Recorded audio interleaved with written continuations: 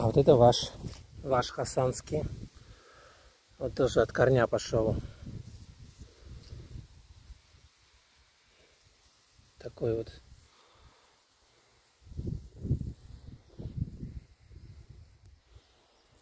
У меня здесь все в куче. И вишня, и розы, и яблони, крыжовник, и груша там. Короче, ну все в куче.